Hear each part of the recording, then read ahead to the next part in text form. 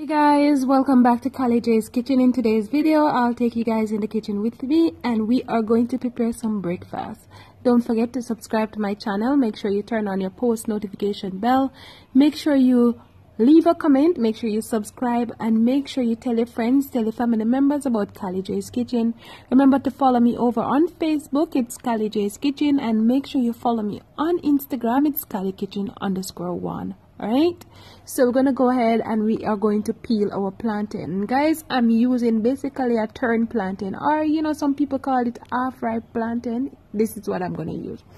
I don't normally eat this type of plantain. I normally like my plantain well green but for some reason i got some turn ripe plantain and this is what we're going to use all right so we just want to take our time to just remove the skin from the plantain and then we're going to slice up our plantain in um, not small pieces but you know medium size. And while I'm doing this I put my pot on the stove with my vegetable oil that I'm going to fry my plantain in and I bought this thing off Amazon that I'm going to use to press my plantain alright? So now that my oil is hot I'm going to go in and just place my plantain in the hot oil. And of course I love when my plantain they are golden brown.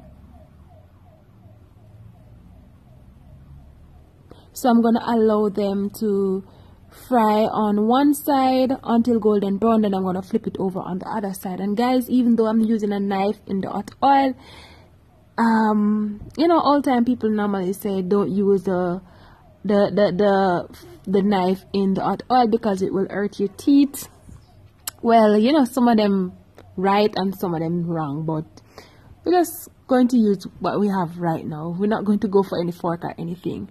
Alright? So once it's golden brown, I'm going to remove them and then we're, we're going to go over and we're going to press our plantains. Alright? So now I'm going to go in and I'm going to press my plantain. Take your time. You have to apply some pressure though on it. Alright? And trust me, they're going to come out really looking really lovely and presentable.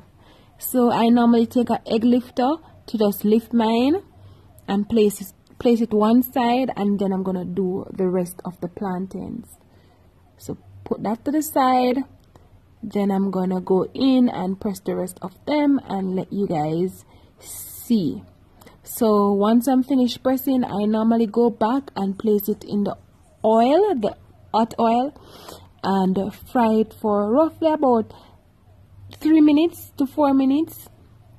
And then I remove them place them on a napkin and allow them to drain.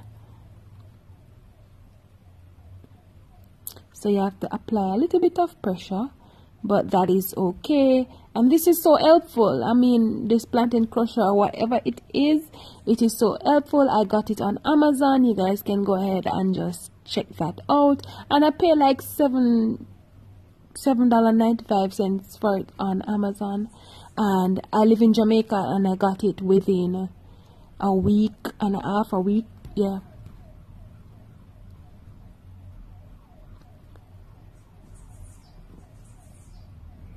so as I said earlier I'm gonna go back and place my plantains that I press in the hot oil and allow them to fry for roughly about a 3 to 4 minutes on both sides. So about 2 minutes on one side and 2 minutes on the other side and then I'm gonna remove them right? And then I'm gonna show you the final product right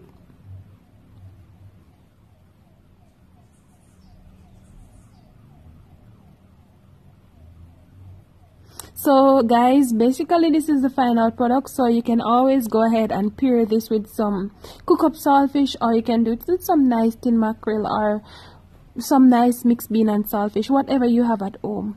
Thank you guys so much for watching and see you tomorrow for another awesome recipe. Bye